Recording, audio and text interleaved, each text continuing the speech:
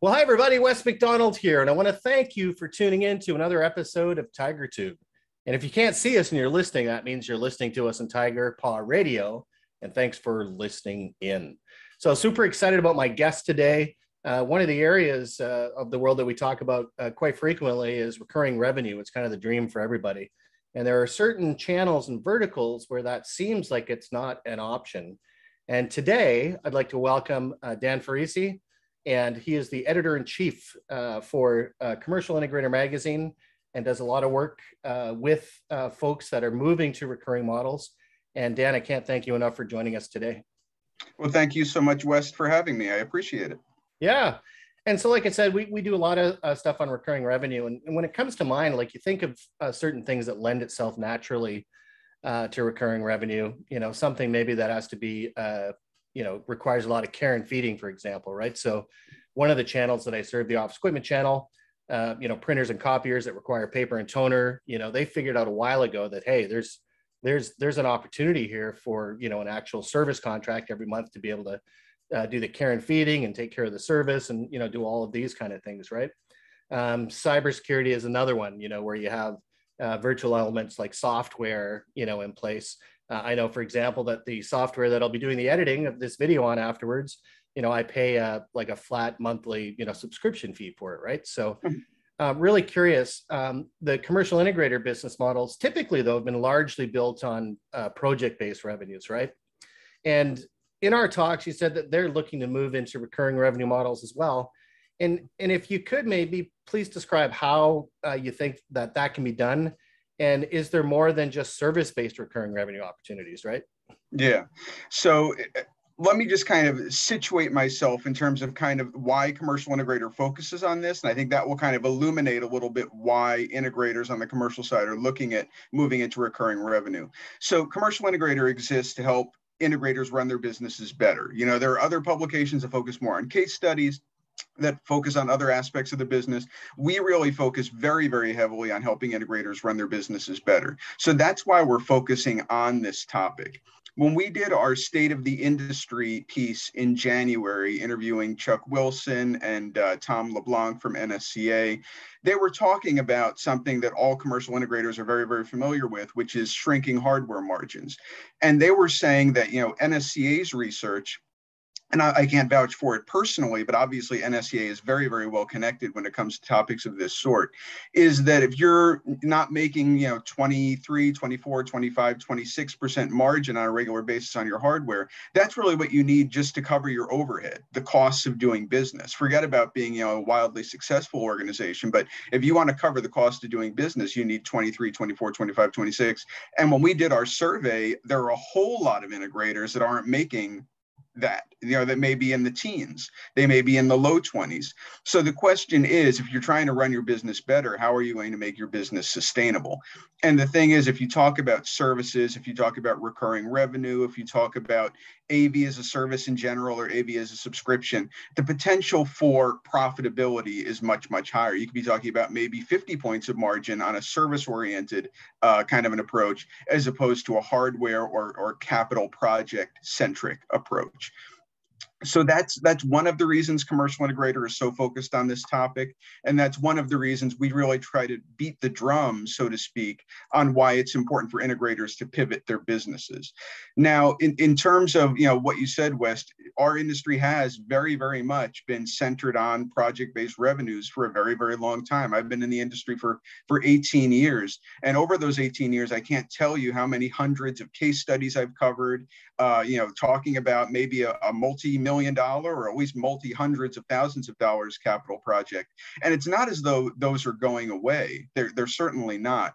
But the idea is can you make recurring revenue a very substantial piece of your pie? Can you get that to maybe 25% of your business where you're, again, whether it's selling uh, AV as a subscription, where rather than making it a capital expenditure, you're making it a subscription kind of a thing, almost treating the room or the, the integrated system as though it was Netflix or as though it was Apple Music music or something like that, where you're paying on a regular cadence for the use of the equipment rather than purchasing the equipment or you know the whole host of different recurring revenue uh, or, or, service opportunities everything from break fix to staffing yeah i'm really glad you talked um, you know, about the importance of uh, gross margin or you know profit levels uh, to be able to sustain the business, right? And and many many years ago in the office equipment channel, um, we saw the same thing. That's why they moved into you know kind of these recurring models in the first place. They used to just sell printers and copiers and then sell the you know the toner and the consumables, but you know it, it got to the point where it was so competitive that once once those um, gross margin levels uh, dip below 30 percent mm-hmm. you know that's that that's hard like you said that puts people out of business right so the uh, the good news is for any uh, commercial integrators watching today that when they shifted that model it immediately uh, pushed their gross margins under the model for you know probably 20 years uh, to more like 40 to 60 points mm-hmm. of uh, gross margin right for the same things just under those services so well that's great absolutely um, now, you, you mentioned as well, obviously, that taking something from a capex expense. Uh, I'm a bit of a home theater uh, enthusiast. I don't know if you can see behind me uh, around those uh, two lights that are in the other room. Um, I've actually got ceiling mounted uh, Atmos speakers, and I've got probably the largest, uh, you know, television on the market so far. Anyway, at an affordable price, close to 100 inches. And you know, so I'm I'm an enthusiast. I get it, and I understand what it costs to to do those things and me personally, I would have actually really loved to have had some kind of um, subscription model, you know, to be able to to use those things, right? Because mm-hmm. Uh, I'm one of those people as well. When I when I think of technology, it's less of an investment, and uh, obviously much more of of an expense, just something that you have to pay for, right? And that ability to upgrade down the road would would thrill me to know uh, to no end, right? To get to the end of my contract and then say, okay, are you ready to move on to the next thing? I would absolutely um, love that, right? And sure. you know, so taking it from that operating expense to, or sorry, from a capital expense into more of an operating expense, I get it. Maybe you can share a little bit about uh, why customers, you know, like uh, that are that are doing more professional, um, you know, either pro AV or commercial integration, why they would prefer it. Yeah, I, I, think that there are a couple of different things to, to keep in mind there. Well, when you think about you know a, a capital expense, a project-based uh, operation, and you think about more traditionally where it's like you know one contract, one multi-million dollar project, and then the integrator is on to do their next project. Um, that that's great, and there's nothing wrong with that. But I, I, think a lot of customers would like the idea of having the confidence of knowing that someone is there, someone will always be there to make things right. It's not just that they're going to be there for the one year, whatever it is, from project ideation to design to execution to commissioning, but they'll be there in perpetuity. If something, you know, suppose uh, it's a, a, a hospitality venue and they're doing a Super Bowl event, that someone on that team, the integrator team, is going to get up from their couch and remote in and make sure that that hospitality venue, their Super Bowl event goes off without a hitch. With a more traditional CapEx project based approach, that may or may not be the case. It may be right. that the client then needs to figure out and kind of MacGyver it and figure out what am I going to do now because I don't have a continuing relationship with the integrator that hooked me up.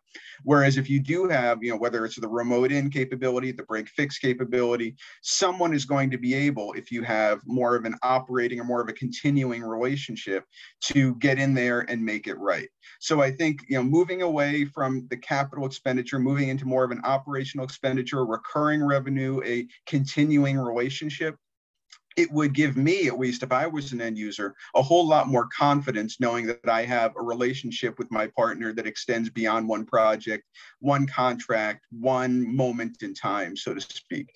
I think it's also true, and let me know, you know, if you disagree, Wes, that internally within organizations when you think about budgeting sometimes different pots are a little bit more flushed with cash than others so example sure suppose there's an IT department in a school versus like an AV department in a school. If an IT department needs something or wants something, they might get it a little bit more readily than the AV department would.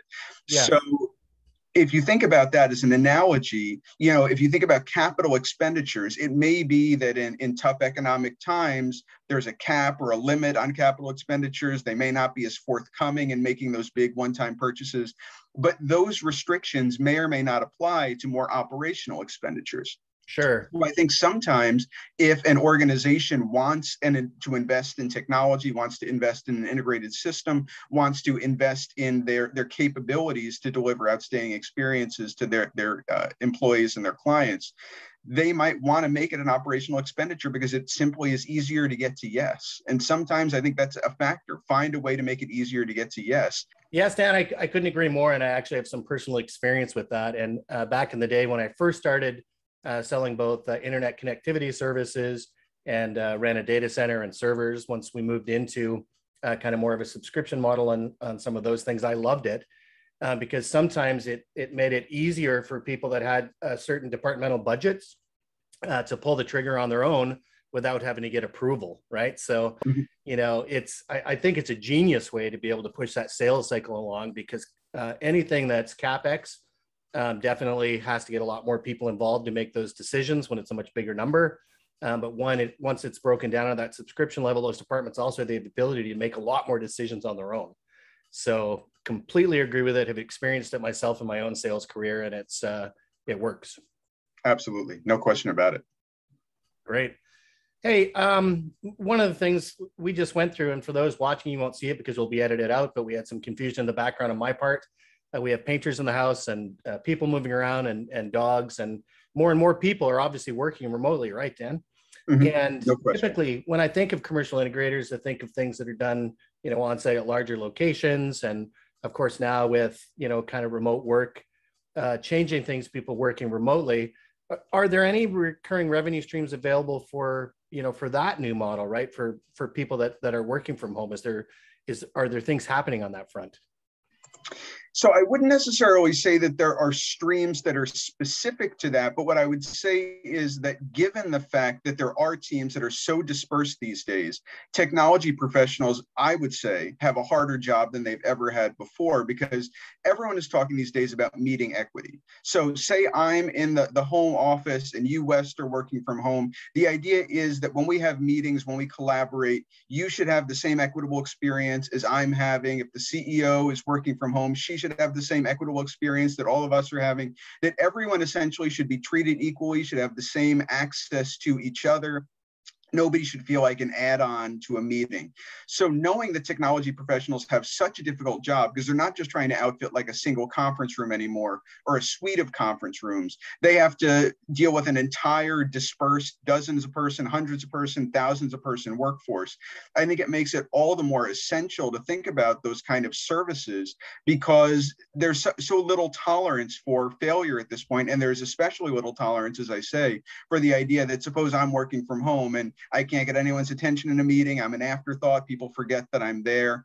So if you have an integrator partner who's consulting with you, partnering with you on a regular basis, making sure that uptime is very good, making sure that remote team members that their experience is just as good as any other uh, person, and and that they have that regular cadence of interaction. Again, it's not just do, setting up the system, commissioning the system, saying, "Oh, everything works," and now we're on to Peoria to do another project. But making sure that if, if you know, suppose I'm not having a good meeting experience, I'm having a bandwidth issue, I'm having some kind of a problem remoting in, and I'm, uh, it, as a result, it's uh, diminishing my ability to collaborate with the team. Knowing that there's a technology professional on call, whether they remote in, whether they roll a truck, whether they, you know, have some on-site staff that they staff up my company with, whatever it is that they can do to facilitate making that mountain a little bit easier to climb. Because as I say, I, I can't imagine a harder job than a technology professional who formerly had to oversee maybe eight or 10 or 12 conference rooms, now having to oversee 100 endpoints, 500 endpoints with people all over different countries, different time zones, different technologies.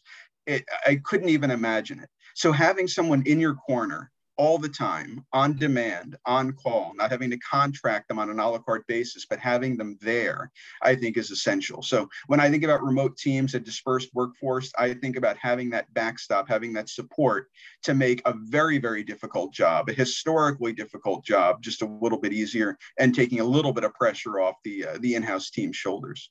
Yeah, and, and one of the things that's quite common, uh, you know, for any kind of uh, work technology, right, whether it be boardroom communications or uh, desktops or other things, is this idea of standardization, right? Mm-hmm. I love this the way that you phrase it, that it's kind of this equity of the experience, right? That you know, with all these remote workers, I can kind of imagine somebody now coming in and and actually having that as part of the question when they're looking to see what we're trying to do with our, you know, communication strategy, right? And saying here's yeah. how the head office works. And by the way, how many remote employees do you have? We have 30 of them. Oh, well, here's our package that we do for, you know, remotees. It's all standardized and yada, yada, yada. And you've got this package. Here's what it costs per month per employee. I got to think that would become a huge opportunity, right? So it'll be kind of exciting to see uh, what kind of evolution happens there. I would love to see some some kind of specific packages of that sort. And obviously they're going to be customized depending on client needs, but at sure. least having a template or a framework from which to work. Because I, I highly doubt we're ever going to go back to, you know, kind of the 100% in the office aspect again. So if uh, we're going to be looking at packages or templates or things that can kind of be customized from a basic framework, that should certainly be, you know, the ground zero. That should be the starting point. And to see some integrators embracing that would be some very very, very exciting. Some probably are, um, but I would love to see it myself and to kind of be able to distill the essence of their ideas and share them with the audience broadly.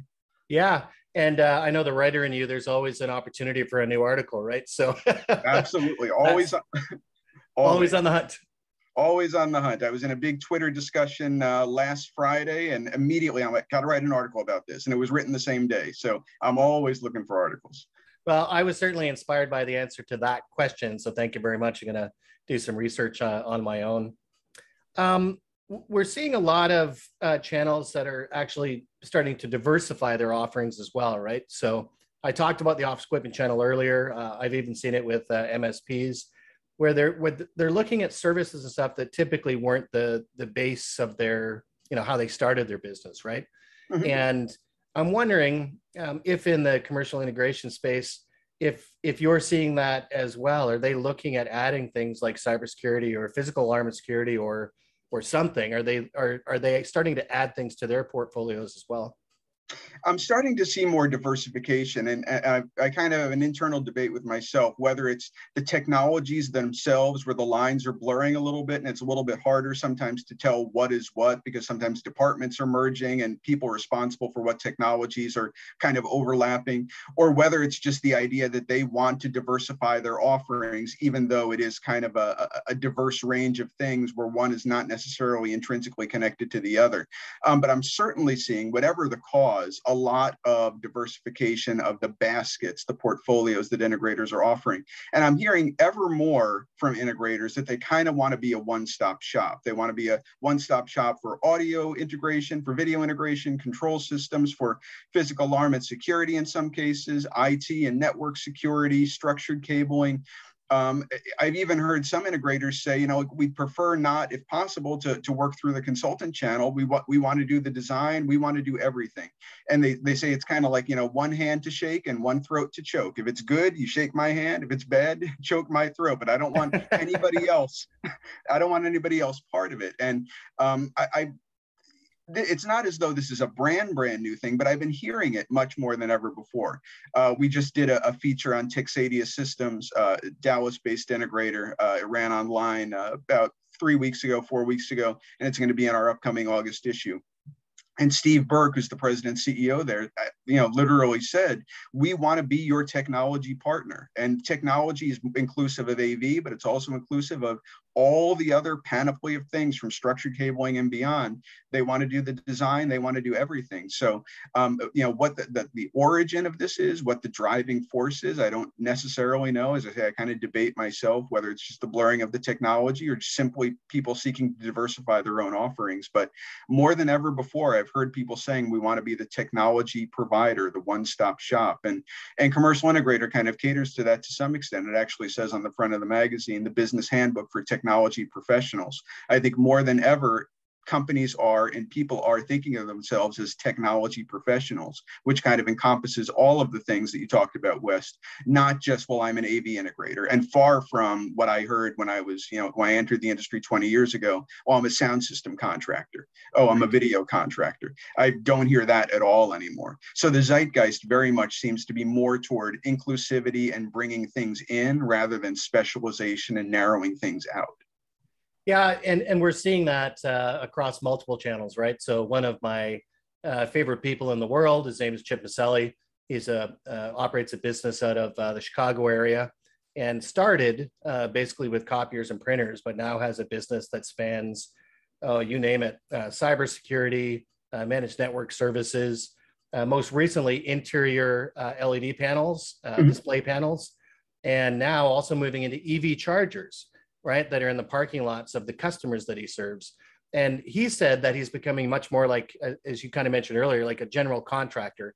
He mm-hmm. doesn't necessarily do all the parts, um, he works with people and has partnerships for some of those things. Uh, I got I can only imagine how complex and what the regulations are for you know EV electric uh, charging stations, right? But oh yeah, he has wow. pe- has people that have that expertise. So uh, exactly what you said. If he says if the technology touches your business, I want to manage it for you, right? Mm-hmm. I don't care what that looks like. So yeah, very cool. Um, this is uh, one of those questions. I call it the impossible question, right? Because now I'm going to ask you, in respect for your time and uh, keeping the interview within our limit, um, if, if you only have one piece of advice for folks out there that are looking to get more recurring revenue in the commercial integration space, what would that be? What I would say is really do it with intentionality. I think, you know, everyone is talking these days about RMR, they're talking about the as a service model, but it can't be done in a, in a haphazard way or a perfunctory way where you feel like, well, everyone else is doing it and, and you know, a commercial integrator is telling me I should do it. So I guess I'll try to fumble my way through, for lack of a better way of saying it. It really has to be well thought out. It has to be well planned and recognize that there are a host of different paths one can take. And you have to figure out what works best for you. There are some integrators, you know, I, am mentioning commercial integrator a lot, but uh, McCann Systems, we just did a feature on them in the June issue. And I remember talking to, to Frank McCann, others on the leadership team. They said 99% of their clients have some kind of a continuing relationship with McCann. It could be as simple as break fix. It could be as extensive as full on staffing of rooms and of, of campuses. So they, what they're doing is figuring out a way to build it in as part of the ideation of a project, as part of the proposal of a project. It's not an add on, it's not a throw in, it's something that is intrinsic to the very approach they're taking. And what I would say is integrators should find a way to make service, whatever permutation it might take, a core fundamental part of every pitch, every contract, every discussion. Find a way to make it part of it rather than just throw it in as the, you know, the, like a you know, car sale. They talk about the warranty in the last couple of minutes. Make it part of the conversation from the very, very start. And recognize, as I say, there are a lot of permutations. It could be as simple as a break fix agreement. It could be a remoting in thing, as I was talking about, you know, your Super Bowl events going on and you need someone to remote in right then and there, even if it's a Sunday night. That could be one way of doing it. It could be as expansive as something like AV as a subscription, where you move entirely away from capital expenditures and you just kind of uh, work with a company like Tamco, a financing company, install all the equipment and then reap the benefits of a monthly or quarterly cadence of payments and move entirely away from the idea of hardware sales. Become the next Microsoft and instead of selling the office suite, just kind of you rent it, so to speak, make it a service where people pay you for the service, but there is never a sale because there's never ownership.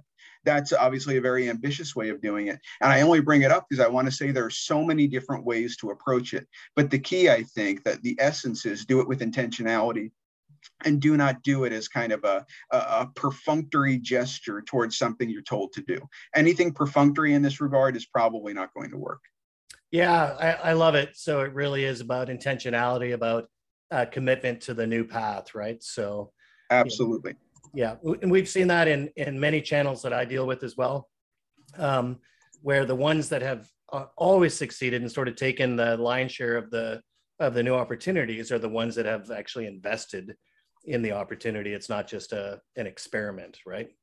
Yeah, yeah, you know, we beat the drum on it a lot, and sometimes you know the odd person will criticize CI saying you keep talking about service, you keep talking about recurring recurring revenue. We get the point, and I know that you know some people may believe in it, some people may not, but uh, to go back to what we talked about, that state of the industry study that we did, and talking about hardware margins that in many cases are simply not enough to sustain a, an overhead, or you have to find some way to kind of jury rig it to make sure that you cover your overhead. If we want to make integrators run their businesses better, help integrators to run their businesses better, we want to pound the drum on something that has the potential to really boost your revenues, really boost your sustainability, and give you a much tighter alignment with your clients, much more stickiness. That's what that's what we all want, right? Stickiness with our clients, the opportunity to leverage the relationships we've built and be the go-to partner. This, I think, is the path to leveraging those relationships, being the go-to partner, and having you know a multi-year commitment, multi-project commitment with your clients. Great, and uh, I'm a bit of a geek, so like in Lord of the Rings, uh, one ring to rule them all, right? So to make sure that you are that uh, that one central source for you know people to get the things that they need to get done well. Well, if Dan, you're not, someone else will be. Correct. Dan, I cannot thank you enough for doing the interview today. And uh, for all of our listeners and for our viewers, I cannot thank you enough for tuning into another episode. And remember, until next time, keep learning.